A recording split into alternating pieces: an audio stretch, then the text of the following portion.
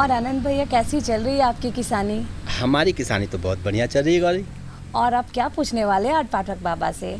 हम तो पाठक बाबा से आज पूछने वाले हैं कि हमारे एक जो जागरूक किसान है उन्होंने पत्र के माध्यम से हमसे पूछा है कुछ प्रश्न। आज हम भी कुछ ऐसे ही प्रश्न लेकर आए हैं पाठक बाबा से पूछने के लिए अच्छा, पत्र के माध्यम से। जोहार पाठक बाबा। अरे जोहार आनंद कैसे हो? बहुत बढ़िया पाठक बाबा। और गौरी तुम कैसी हो? बहुत अच्छे पाठक बाबा। तो आओ शुरू करते हैं अपना आज का ये कार्यक्रम। हाँ। जोहार। जोहार। कृषि दर्शन की इस अंक में आप सभी किसान भाई बहनों का हम हार्दिक स्वागत करते हैं। और सबसे पहले देखते हैं खबरें खेती की।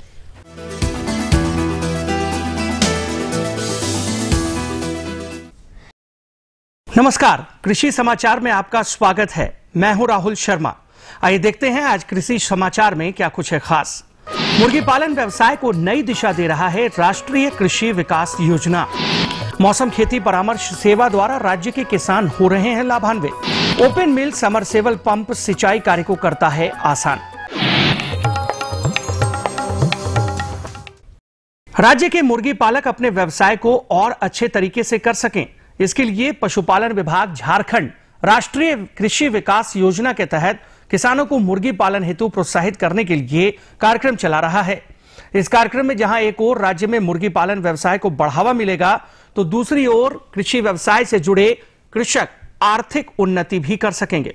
आज मुर्गी पालन एक अच्छे व्यवसाय के रूप में स्थापित हो चुका है। ये व्यवसाय और विकास करे नए लोग या कृषक इस व्यवसाय से जुड़कर लाभान्वित हों। इसके लिए पशुपालन विभाग झारखंड राष्ट्रीय कृषि विकास योजना के तहत कई तरह के कार्यक्रम चलाती है, जिसमें मुर्गी पालन के प्रशिक्षण से लेकर व्यवसाय स्थापित करने के लिए अन्य सुविधाओं के साथ अनुदान भी मुहैया कराया जाता है। फ़सल उत्पादन यानी खेतीबाड़ी काफ़ी हद तक मौसम पर निर्भर करता है। यदि फ़सल के अनुरूप मौसम हो या कहें कि मौसम के अनुरूप फ़सल लगाई जाए तो निश्चित तौर पर उत्पादन अच्छी होगी। इन्हीं सब बातों को लेकर किसानों की सुविधा के लिए मौसम खेती परामर्श सेवा झारखंड के लगभग सभी जिलों में कार्यरत है। हमारे यहाँ पुराने समय से निश्चित समय में निश्चित फ़सलों के लगाने की परंपरा रही है। परंतु पिछले कुछ वर्षों से मौसम में बहुत बदलाव आया है, जिससे फ़सलों पर प्रतिकूल प्रभाव पड़ा है। कृषि विशेषज्ञों के अनुसार मौसम के अनुरूप खेती करने से उपज अच्छी प्राप्त की जा सकती है। इसलिए राज्य में मौसमी खेती परामर्श सेवा शुरू की गई है, जिससे किसान भाइयों को अगले पाँच दिनों के मौसम के पूर्वानुमान के साथ मौसम आधारित विभिन्न कृषि कार्यकलापों की जानकारी एक बुलेटिन के रूप में दी जाती है। आकाशवाणी, दूरदर्शन तथा समाचार पत्रों द्वारा इस बुलेटिन की जानकारी किसान ले सकते हैं।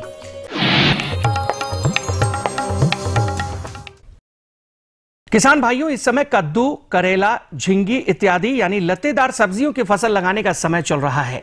जो किसान झिंगी की फ़सल लगाने के इच्छुक हैं, वे कृषि विशेषज्ञों द्वारा अनुशंसित प्रभेद, स्वर्ण मंजरी या स्वर्ण उपहार लगाएँ। यह प्रभेद झारखंड की जलवायु और मिट्टी के अनुकूल हैं और अच्छी उपज प्रदान करते हैं। किसान भाइयों, आप जब झींगे की खेती करने चलें तो उसके लिए आप रोग रोग कीट रोधी किस्म हार्प के द्वारा जारी स्वर्ण मंजरी और स्वर्ण उपहार का प्रयोग करके अपने खेती के उद्देश्य को सफल बनाएँ। किसान भाइयों, यदि आपकी लगाई गई फ़सलों में फलों की गुणवत्ता अच्छी नहीं रहती, फल टेढ़े मेढ़े आते हैं या फूलों की तुलना में फलों में कमी आती है तो ये एक गंभीर समस्या है।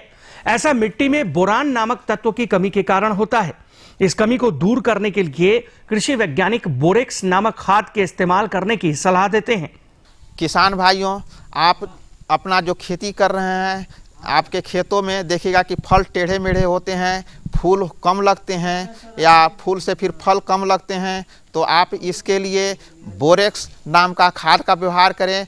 उसके द्वारा बोरोन मिलता है। बोरोन के कमी से ही आपके फल टेढ़े मेढ़े होते हैं या फल कम लगते हैं। यहाँ तक कि पत्तियाँ भी फ़सल की छोटी होती हैं।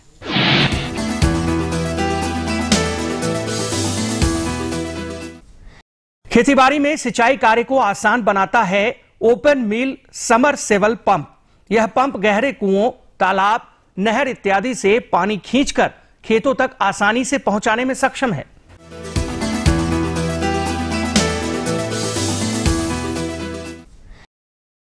आइए अब मिलते हैं एक प्रेरणा स्रोत सफल किसान से, जो आधुनिक खेतीबाड़ी द्वारा अच्छी फ़सल उपजाने में माहिर हैं। हम लोग यही खेती बाड़ी करते हैं, जैसे गेहूँ है।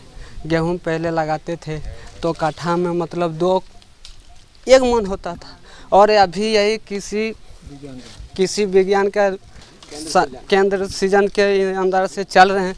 तो अभी वही वही मिट्टी में और वही ज़मीन में जहाँ एक कट्ठा ले रहा था, और अभी अभी चार चार मन उसी में झाड़ रहे हैं। हम लोग हम लोग का खेती बाड़ी सही कर लेते हैं, बाल बच्चा का पढ़ाई भी कर लेते हैं। और पहले काम कर रहा था जाकर के बाहर में, हरियाणा में। वहीं हम देखें खेती कि इस ढंग से होता है। तो वहीं से हम काम छोड़ दिए और आ गए गाँव। और गाँव में आकर लोन उठाएँ और थोड़ा बेल उल नहीं था हम लोग गरीब आदमी हैं। तो नहीं था तो कि उसी से धीरे धीरे करके अभी चल रहे हैं हम लोग। और अब एक नज़र राज्य के कुछ प्रमुख शहरों के मौसम के मिजाज पर। आज राज्य के कुछ प्रमुख शहरों के तापमान इस प्रकार दर्ज किए गए। रांची अधिकतम 33 डिग्री सेल्सियस और न्यूनतम 18 डिग्री सेल्सियस देवघर अधिकतम 36 डिग्री सेल्सियस और न्यूनतम 19 डिग्री सेल्सियस। गोड्डा अधिकतम 37 डिग्री सेल्सियस और न्यूनतम 19 डिग्री सेल्सियस। कोडरमा अधिकतम 34 डिग्री सेल्सियस और न्यूनतम 18 डिग्री सेल्सियस। चाईबासा अधिकतम 35 डिग्री सेल्सियस और न्यूनतम 20 डिग्री सेल्सियस। और हजारीबाग का तापमान अधिकतम 33 डिग्री सेल्सियस और न्यूनतम 17 डिग्री सेल्सियस रहा।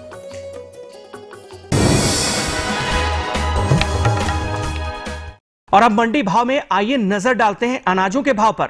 आज राज्य की प्रमुख खाद्यान्न मंडियाँ हल्के उतार चढ़ाव के साथ सामान्य रही। इनमें कमोबेश नरमी का ही रुख रहा। उधर सब्ज़ी मंडियों में हरी सब्जियों के साथ आलू और टमाटर के दाम भी घटे हैं। हरी सब्जियों की बाज़ार में अच्छी आवक से मूल्यों में ये नरमी है। आज बिके कुछ प्रमुख अनाजों के भावों पर नज़र डालें तो वे इस प्रकार रही। चावल मध्यम, न्यूनतम दो हज़ार दो सौ रूपए से लेकर अधिकतम दो हज़ार छह सौ रूपए। चावल उत्तम, न्यूनतम दो हज़ार पाँच सौ रूपए से लेकर अधिकतम चार हज़ार दो सौ रूपए। गेहूँ, न्यूनतम एक हज़ार चार सौ रूपए से लेकर अधिकतम एक हज़ार सात सौ रूपए। दाल अरहर, न्यूनतम पाँच हज़ार छह सौ रूपए से लेकर अधिकतम छह हज़ार नौ सौ रूपए। दाल मसूर, न्यूनतम चार हज़ार चार सौ रूपए से लेकर अधिकतम पाँच हज़ार छह सौ रूपए। दाल, चना, न्यूनतम तीन हज़ार चार सौ रूपए से लेकर अधिकतम चार हज़ार आठ सौ रूपए। चीनी, न्यूनतम तीन हज़ार चार सौ रूपए से लेकर अधिकतम तीन हज़ार छह सौ रूपए। आलू, न्यूनतम सात सौ रूपए से लेकर अधिकतम आठ सौ पचास रूपए। और प्याज, न्यूनतम एक हज़ार चार सौ रूपए से लेकर अधिकतम एक हज़ार सात सौ रूपए प्रति क्विंटल रहा।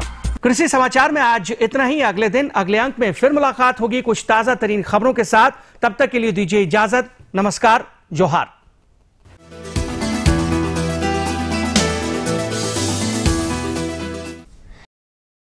खबरें खेती के अंतर्गत आपने जाना मंडी भाव। मौसम का हाल भी जाना। साथ में कृषि की नई नई तकनीक और नए उपकरणों की जानकारी भी ली। अच्छा पाठक बाबा। अरे रुको आनंद। फ़िलहाल वक्त हो चला एक अल्प विराम का। अच्छा। और आप देखिए ये संदेश। ये लो और बताओ। बस। अरे ये क्या भैया जी? बस इतनी सी रासायनिक खाद। किसानी छोड़ रहे हो क्या? किसानी नहीं नादानी छोड़ रहे हैं। मिट्टी की जाँच कराई है। अब तो लाला जी जितनी ज़रूरत है उतने ही उर्वरक खेत में डालेंगे हाँ। किसान भाई आज ही अपने ज़िले की नजदीकी भूमि परीक्षण प्रयोगशाला में मिट्टी की जाँच ज़रूर करवाएँ और मिट्टी में पोषक तत्व, नमी व पौधे के विकास को देखते हुए केवल ज़रूरत के अनुसार ही पोषक तत्व डालें। और हाँ मिट्टी में गंधक, जस्ता बोरोन जैसे सूक्ष्म पोषक तत्वों का पता लगाना भी न भूलें।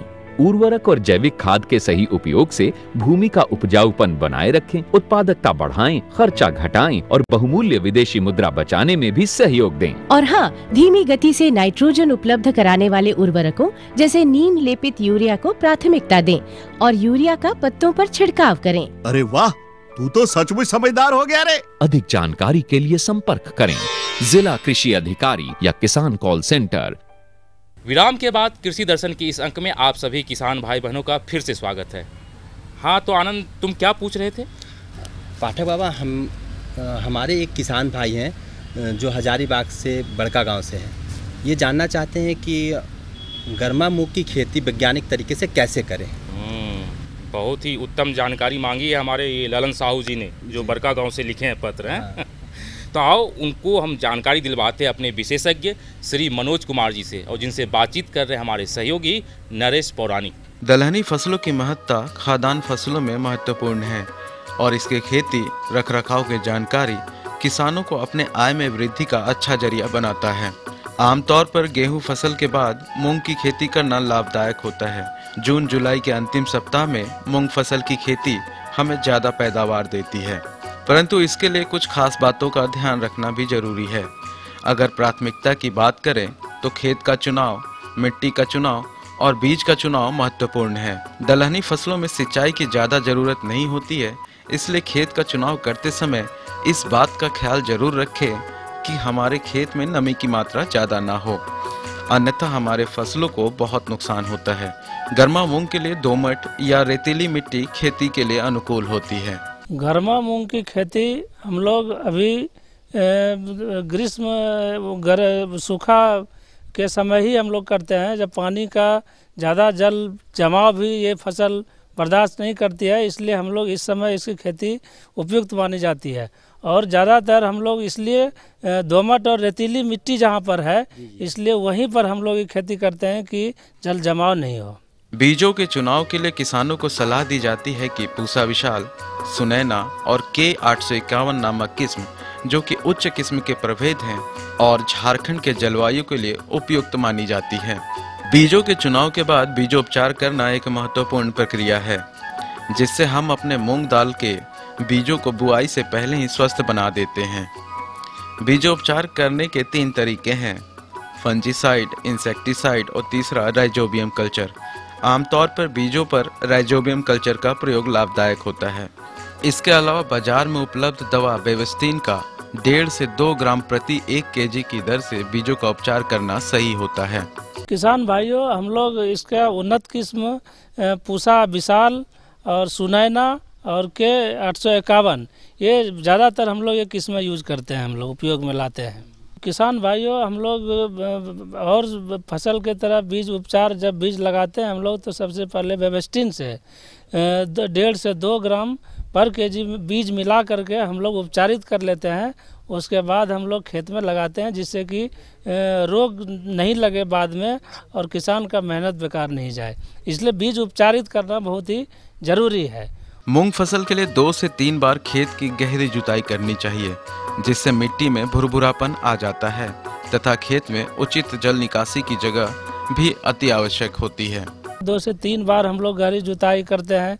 जुताई करके हम लोग मिट्टी को भुरभुरा बना देते हैं और जल निकासी का भी हम लोग उसमें व्यवस्था करते हैं ताकि जल जमाव नहीं हो। दलहनी फ़सल के बुआई के समय उर्वरकों का संतुलित मात्रा में प्रयोग फ़सलों के बढ़वार में मदद करता है। आमतौर पर 20 से 30 केजी नाइट्रोजन 50 केजी फास्फोरस और 20 केजी पोटास प्रति हेक्टेयर प्रयोग करना लाभदायक होता है। इसके अलावा खेत में जीवाणु खाद का भी प्रयोग हमारे फ़सलों को मिट्टी में स्वस्थ बनाए रखने और वृद्धि करने में मदद करते हैं। बुआई का समय अभी गर, अभी गर्मी के समय में ही जून अंतिम या जुलाई का अंतिम सप्ताह में भी हम लोग इसकी खेती करते हैं। और सबसे ध्यान देने योग्य बात है कि बीज दर जो हम लोग देते हैं वो पंद्रह से बीस के जी पर हेक्टेयर हम लोग बीज दर का उपयोग करते हैं। और उसमें जो फिर लगाने के बाद हम लोग को ध्यान देना है कि उसमें उर्वरक की मात्रा भी हम लोग एक जितना ज़रूरी है, उतना ही देना चाहिए। जैसे हम लोग उसमें नाइट्रोजन 20 से 30 केजी पर हेक्टेयर और फास्फोरस फास्फोरस 50 केजी पर हेक्टेयर और फिर पोटास भी हम लोग 20 केजी पर हेक्टेयर के रूप में हम लोग प्रयोग में लाते हैं। बीज के बुआई के 15 से 20 दिन के बाद दो से तीन बार हल्की सिंचाई करनी चाहिए। खेत में खरपतवार होने से हमारी फ़सल के बढ़वार में काफ़ी दिक्कत होती है, अतः समय समय पर खरपतवार का भी नियंत्रण करना चाहिए। इसके नियंत्रण के लिए एलाक्लोर या ग्राइसिल का डेढ़ सौ एम प्रति 16 लीटर पानी में घोल बनाकर छिड़काव करने से हम खरपतवार से अपने फ़सलों को बचा लेते हैं। बुआई के करीब 15 से 20 दिन बाद हम लोग, दो से तीन बार भी हम लोग सिंचाई इसका ज़रूर करें। पौधे जब तैयार हो जाएँगे तो फिर हम लोग उसके, उसको करीब 25 से 30 दिन के बाद जो है फिर हम लोग एक सिंचाई उसमें देते हैं ताकि फ़सल मेरा ठीक रहे। लेकिन उसमें भी हम लोग को ध्यान देना है कि जो भी सिंचाई हम लोग दे रहे हैं, वो खेत में जल निकासी ज़रूर रहे हम लोग। हमारा फ़सल लग जाता है तो उसके करीब पंद्रह से बीस दिन के बाद फिर जो है हम लोग उसके नेक्स्ट हम लोग खर पतवार का नियंत्रण करते हैं और निकाई करते हैं। और जिसमें हम लोग एक फर खर पतवार नाशी जो होता है, जैसे एला क्लोर एला क्लोर या एक ग्लाइसिल जो है, दवा होती है, जिसको हम लोग करीब डेढ़ सौ एमएल जो है 16 लीटर पानी में घोल करके कैन में रख के उसको स्प्रे करते हैं, जिससे कि हमारा खरपतवार नियंत्रण रहता है। गर्मा मूंग की फ़सल में बहुत सारे रोग भी लगते हैं, जिनमें पत्तियों में लाल धब्बा का होना प्रमुख है। इस रोग से बचने के लिए बीज को उपचारित कर, बुआई करना लाभदायक होता है। इसके अलावा पौधे का बढ़वार ज़्यादा होता है, परंतु दाने कम आते हैं। यह लक्षण उर्वरकों का संतुलित मात्रा में प्रयोग न करने की स्थिति में होता है। अतः वैज्ञानिक पद्धति द्वारा हम गर्मा मूंग की खेती करें तो हमें कम लागत में ज़्यादा मुनाफा प्राप्त हो सकता है। जो रोग जनरली देखा गया है कि बीज अगर हम लोग उपचारित नहीं करते हैं तो इसके पत्ती, इसमें भी एक पत्ती इसकी झुलस जाती है, जिसमें कि इसका पत्ती में भी लाल धब्बा हो जाता है जिसके चलते वो पत्ती नीचे वाली वो मुरझा के गिर जाता है।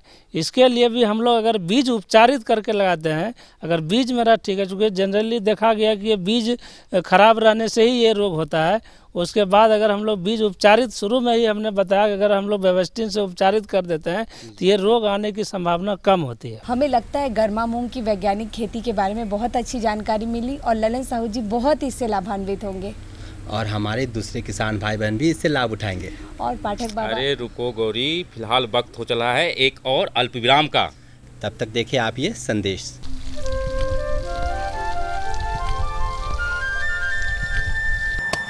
अरे भैया इसकी क्या ज़रूरत? किसकी क्या ज़रूरत है? अरे मिलता तो है बाज़ार में। क्या मिलता है बाज़ार में? बुझो तो जाने। अरे बुझावन भैया पहेलियाँ क्यों बुझा रहे हो? साफ़ साफ़ बताओ ना क्या बात है। अरे किसना? इनके कहने का मतलब है ना कि जब बाज़ार में रेडीमेड उर्वरक सुंदर सुंदर बोरा में बंद मिलता है तो भी गोबर में लिसराने का क्या ज़रूरत है? हाँ, हाँ, क्या फ़ायदा? हमको बुड़बक समझो क्या? ज़्यादा रासायनिक खाद का प्रयोग हमारे खेत को बंजर बना देता है। इसलिए हम अपने खेत में ज़्यादा से ज़्यादा जैविक खाद का प्रयोग करते हैं। आप भी अपने खेत में जैविक खाद का प्रयोग करें। कहा कृष्णा कल काहे नहीं आए थे। का है मालिक? ऊ का है? ढेर चर्बी चढ़ गया है का अरे कहा रे बल्लो? काहे डांट रहे हो? देखिए ना भैया कृष्णा कल काम पर नहीं आया था। अरे तेरा बाप का खेत है? जब मन किया है जब मन किया नहीं है। मालिक बेटे को बुखार हो गया था मालिक। उसको दिखाने के लिए सरकारी अस्पताल ले गए थे मालिक। इसलिए नहीं आ सके मालिक। माफ़ कर दीजिए मालिक। माफ़ कर दीजिए मालिक। हम कुछ नहीं जानते हैं। तेरा पगार से पैसा कटेगा। बोलो काट लिया पैसा। चल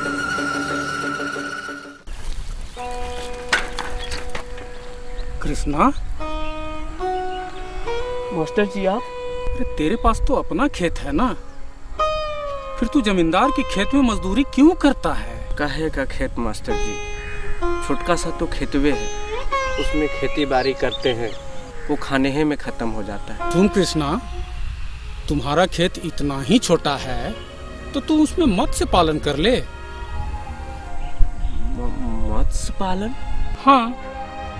तू अपने खेत को खुदवा कर उसे छोटे तालाब के रूप में तब्दील कर दे और उसमें मछली पालन कर। मछली पालन में बहुत पैसा है। तेरी सारी जरूरतें पूरी हो जाएँगी और तुम्हें जमींदार के खेत में जाकर मजदूरी भी नहीं करनी पड़ेगी। ये तो ठीक कहा मास्टर जी अब दूसरों के खेत में काम करना बंद और मत्स्य पालन शुरू। तो पूछो गौरी क्या पूछना चाह रही थी?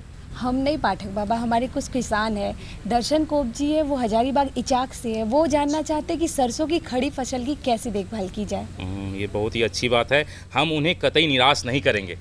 इस संबंध में हम विस्तार से जानकारी दिलवाते हैं अपने विशेषज्ञ डॉक्टर प्रमोद कुमार जी से और जिनसे बातचीत कर रहे हमारे सहयोगी भानु घोष।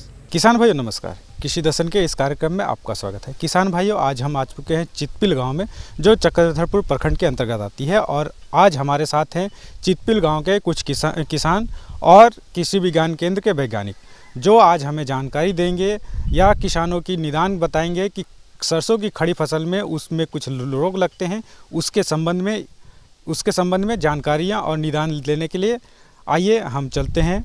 अपने विशेषज्ञों से और अपने किसान भाइयों से सवाल जवाब के दौर पर। तो डॉक्टर साहब, आप हमारे किसान भाइयों को बताएँ कि सरसों की अभी जो खड़ी फ़सल है, उसकी देखभाल वो किस प्रकार करते हैं? सरसों की खड़ी फ़सल सभी जगह है। अभी मौसम भी है सरसों की खेती का। अभी जो है लगभग बुआई के करीब डेढ़ दो महीना बीत चुका है और इसमें कुछ जो समस्या है, वो पौधा है, उसका बढ़वार कम ना। तो इसके लिए है कि आप सही सही खाद का व्यवहार बुआई के समय करें। बुआई के समय नहीं किए हैं तो अभी सिंचाई जब एक महीना के आसपास करते हैं निराई गुड़ाई के समय और उस समय जो है यूरिया प्रति एकड़ कम से कम बीस से पच्चीस किलो अवश्य डालें सिंचाई के बाद। और दूसरा जो है जब दाना बनने लगता है उस समय या फूल आने के जस्ट पहले उस समय भी एक सिंचाई करें और उसके तुरंत बाद 20 किलो यूरिया प्रति एकड़ के दर से उसमें डालें। सरसों हम लोग लगाए हैं तो इसका बीमारी कैसे हुआ और कैसे इसको हम लोग दूर करें? सर इसका जानकारी हम लोग को बताइए। देखिए ये आप जो देख रहे हैं ये बीमारी नहीं है ये आपका एक रस चूसने वाला कीड़ा जिसको मिली बग बोलते हैं हम लोग। ये रस चूसता है, ये आपका सरसों में भी होता है, आपका आम में भी होता है, अमरूद में भी होता है, धान में भी होता है मिली बग। तो रस चूसता है, रस चूसने के बाद ये पत्ता आपका देखिएगा, खोखला कर देगा, इसका मतलब जैसे खून चूसता है, कोई उसी टाइप का ही पौधा का रस चूसता है। तो इसके लिए आप लोग को दवा का इस्तेमाल करना होगा। इसके लिए आप लोग इमिडा क्लोरोपीट करके दवा आता है। इसका आप लोग डेढ़ एम एल एक लीटर पानी मिलाकर छिड़काव कर दीजिए तो आपका ये कंट्रोल हो जाएगा। मेरा नाम पूरन महतो ये चितपिल गाँव का किसान भाई है मैम मेरा सर ये मेरा लाही लग रहा है सरसों में तो क्या दवा सर लगाएँगे? लाही आपका देखिए लगा हुआ है और लाही आपका दो तीन प्रकार का रहता है। एक भूरा रंग का रहेगा एक हरा रंग का समझ गए? तो इस प्रकार इसमें लगा हुआ है आपका भूरा रंग का है ना? तो इसके लिए आप लोग ये भी रस चूसने वाला कीड़ा है तो इसके लिए लाही के लिए सबसे अच्छा दवा है मिथाल डिमेटॉन जिसको बोलते हैं। उसका व्यापारिक नाम मेटासिस्टोक है। इसका आप लोग एक से डेढ़ एम प्रति लीटर पानी में मिलाकर छिड़काव कर दीजिए खेत में तो ये आपका कंट्रोल हो जाएगा। सरसों हम लोग बोए हैं लेकिन पत्ता के किनारे किनारे लाल लाल हो रहा है। डॉक्टर साहब इसके बारे में हम लोग कैसे दूर करें इसको बताइए। सुगना जी ये जो आप दिखा रहे हैं ये पत्ता के किनारे किनारे जो है, वो जला हुआ ऐसा दिख रहा है, ठीक है? तो ये, और इसके चलते आपका जो पौधा का बढ़वार सही नहीं हो रहा। है तो ये जो पत्ता के किनारे किनारे जो जल रहा है, ये जला ऐसा दिख रहा है। ये लक्षण बताता है कि इस ज़मीन में जो है पोटास का कमी है। ये पोटास के कमी के कारण इस तरह का पत्ता में ये जो लक्षण दिखता है। तो इसके लिए है कि आप बुआई के समय ही प्रति एकड़ कम से कम 20 किलो म्यूरेट ऑफ़ पोटास अगर डालते या डालेंगे तो इस तरह का चीज़ नहीं होगा फ़सल में। अगला सीज़न में जब भी आप सरसों लगाएँ तो कम से कम प्रति एकड़ 20 किलो पोटास ज़रूर डालें। ये कैसे कीड़ा खा रहा है इसके लिए डॉक्टर जी बता दीजिए। रसद जी देखिए ये आपका जो पत्ता दिखा रहे हैं इसमें आपका पत्ता छेदक कीड़ा का जो है प्रकोप ज़्यादा हुआ है जिसके चलते आपका उपज में कमी आ जाएगी। यदि सही नियंत्रण नहीं कीजिएगा तो। इसके लिए आप लोग साइपर मेथ्रिन करके आता है है ना? उसका आप डेढ़ एमएल प्रति लीटर पानी मिलाकर छिड़काव कर दीजिए तो ये आपका कीड़ा जो है मर जाएगा, कंट्रोल हो जाएगा। हाँ किसान भाइयों, देखिए, जब खेती करते हैं तो हम लोग को जैसे बताए कि अच्छे किस्म का चुनाव करना है तो चुनाव करने के बाद आप जब खेत में उसको डालते हैं तो सबसे पहले आप उसको बीज उपचार कर लें। और बीज उपचार आप जैसे पा इसमें सबसे ज़्यादा बीमारी जो होता है पाउडर मिल्ड्यू, जिसको सफ़ेद चूर्ण रोग बोलते हैं। तो इसके लिए सल्फेक्स दवा मिलता है, उसका दो ग्राम प्रति किलो बीज से इसका उपचारित कर लें और उपचार करने के बाद छाया में सुखा के उसको सूखने के बाद दो तीन घंटा बाद जहाँ आपको खेत में डालना है वहाँ डालिए। तो बीज, सल्फेक्स आपका दो ग्राम प्रति किलोग्राम बीज, एक किलो में दो दो ग्राम। पाउडर के रूप में रहता है। इसको मीन, मिक्स करके आप छाया में सुख- के खेत में जहाँ डालना है वहाँ डालिएगा। ये आपका जहाँ खाद बीज का दुकान है वहाँ मिल जाएगा आपको, वहाँ से आप खरीद सकते हैं। तो इससे आपका सफ़ेद चून रोग आपका नहीं होगा। ठीक है?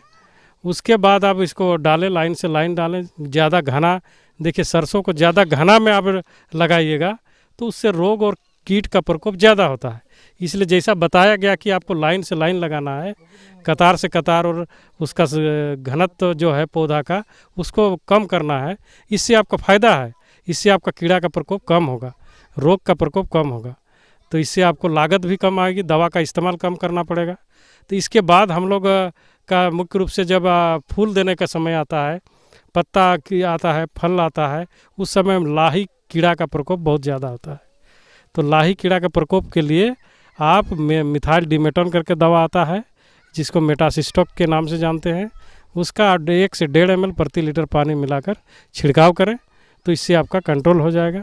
दूसरा, हम लोग को सफ़ेद चूर्ण रोग बाद में जब भी यदि आ जाए तो सल्फेक्स दवा का ढाई ग्राम प्रति लीटर पानी मिलाकर उसको भी छिड़काव कर दें तो उससे भी आपका सफ़ेद चूर्ण रोग नियंत्रण हो जाएगा। डॉक्टर साहब ने कितनी अच्छी जानकारी दी सरसों की खरीफ फ़सल के देखभाल के बारे में और हमारे किसानों के मन में जो सवाल थे उनका भी कितनी अच्छी तरीके से जवाब दिया। डॉक्टर साहब आप हमारे इस कार्यक्रम में इसके लिए आपका बहुत बहुत धन्यवाद। और किसान भाइयों आपको भी बहुत बहुत धन्यवाद। इसी के साथ लेते हैं विदा। जोहार। हाँ तो गौरी आनंद। जी, पाठक बाबा। तो कैसी लगी आज की ये जानकारी? बहुत अच्छी लगी। हाँ तो किसान भाई आप हमें इसी तरह पत्र के माध्यम से कृषि से संबंधित कोई भी समस्या से अवगत कराते रहिए। इस जानकारी से हमारे किसान भाई बहन बहुत ही लाभान्वित हो उठेंगे हम आपके प्रश्नों के उत्तर अच्छे वैज्ञानिकों से दिलाते हैं। तो हमारा पता अब लिख ले। हमारा पता है कार्यक्रम कृषि दर्शन किसी प्रकोष्ठ द्वारा उप महानिदेशक दूरदर्शन केंद्र Ratu road Ranchi. Pin code संख्या है आठ तीन चार शून्य शून्य एक। तो इसी के साथ दीजिए हमें इजाज़त। जोहार। जोहार।